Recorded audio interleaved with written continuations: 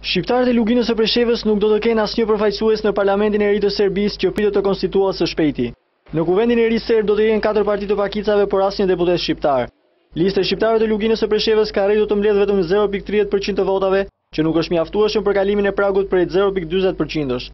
Deputeti i vetëm shqiptar në përbërjen e fundit parlamentare në Serbi ishte Riza Halimi i Partisë për Veprim Demokratik, ndërsa kryetari i PDSH-së Ragmi Mustafa, i cili apeloi tek shqiptarët e Serbisë për bojkot të zgjedhjeve parlamentare dhe presidenciale është shprehur se shqiptarët mbetën pa deputet për shkak të dobësimit të partisë së Halimit. Mustafa ka konfirmuar se partia e tij ka fituar bindshëm zgjedhjet lokale në Preshevë dhe se do të konstituojë një kuvend komunal krejtësisht shqiptar.